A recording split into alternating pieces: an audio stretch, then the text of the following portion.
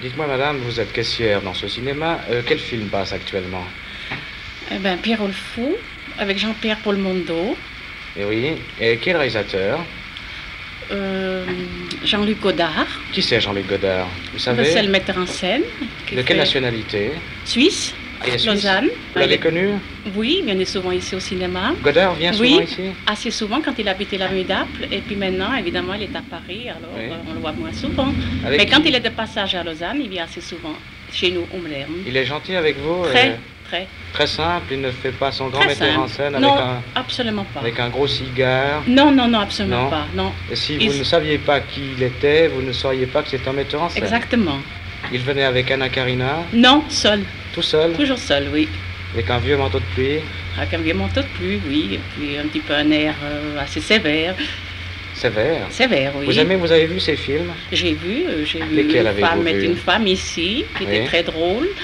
Et puis, euh, qu'est-ce que j'ai vu encore? Non, c'est tout. Vous lisez les journaux spécialisés du cinéma? Oui, oui. Cinéma international. Ah, Cinéma International, c'est Cinéma très bien. international oui. qui est très bien, qui a justement un article sur euh, Jean-Luc Godard. Vous lisez donc vous êtes au courant Oui. de ce qui se passe. Un peu. Et oui. quand on annonce un tout, film mais- euh, chez vous, vous savez euh, quel genre de film c'est, si c'est un bon film ou si c'est un mauvais film.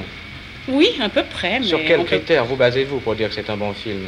Bah, Sur les critiques de cinéma, C'est ça. n'est-ce pas? Mais est-ce que Et vous puis dites que... le succès que- du public aussi à Paris. et Ah, donc, aussi, vous- vous- aussi, vous oui. informez. Oui, oui. Est-ce que les gens qui sortent d'ici, qui sont fâchés ou qui sont contents, euh, vous le disent? Oui, ils nous le disent, oui.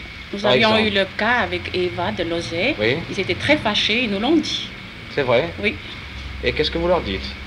Quand un gars vient vers vous et vous dit, écoutez, ce film est... On- ça dépend les goûts, on ne peut pas contenter tout le monde. Depuis combien de temps faites-vous ce métier? 28 ans, monsieur.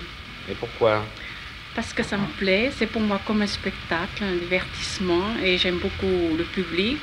Ah, Parce que vous- pour vous, le spectacle n'est pas dans la salle, mais euh, à l'entrée. À l'entrée, à l'entracte, à la sortie, et hum, Pourquoi? Vous, re- vous regardez les gens euh, discuter. oui, de quoi? J'aime oh, ben, de tout, aussi du cinéma naturellement, mais Aussi. de tout. Et pour Bien moi, par le cinéma. à part le cinéma. Oui.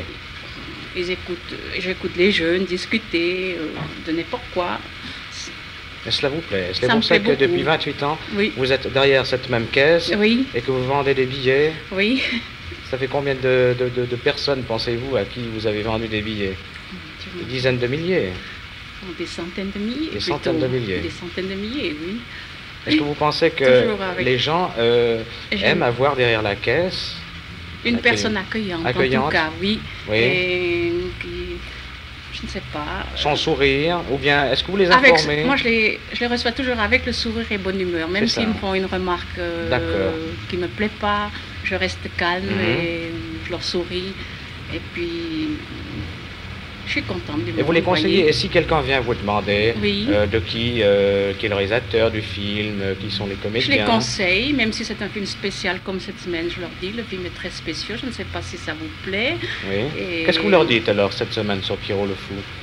Ben, je leur dis que le film est, c'est un peu comme un, un rêve, un peu comme, euh, je ne sais pas, faut dire je ne l'ai pas encore vu, mais Mhm. d'après ce que j'ai entendu, il est plein de poésie, plein de gaieté, un peu comme un rêve, voyez.